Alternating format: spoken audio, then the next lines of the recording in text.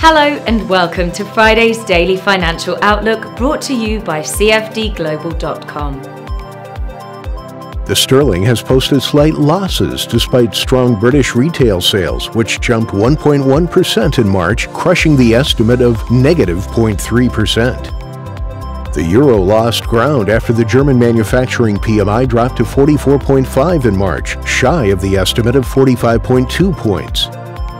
Oil futures held steady as a drop in crude exports from OPEC's de facto leader Saudi Arabia and a draw in U.S. oil inventories supported prices. The dollar yen pair has traded sideways in the last session. The ATR is signaling low volatility. The price of gold has fallen in the last two sessions, losing 0.1% in the last session. The ROC enters the neutral area. Bitcoin has gained an impressive 3.4% in the last session. The ATR is signaling high volatility.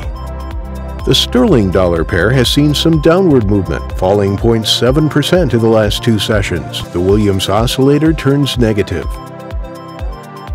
The U.S. building permits will be released at 12:30 GMT. The New Zealand's consumer price index at 0:30 GMT. The U.S. housing starts at 12:30 GMT. The U.S. Baker Hughes U.S. oil rig count at 1700 GMT. The CFTC yen and euro net positions at 1930. That was our financial review for Friday, brought to you by CFDGlobal.com. On behalf of all of us here at CFDGlobal.com, we wish you a productive trading day. Visit us at CFDGlobal.com for a unique trading experience.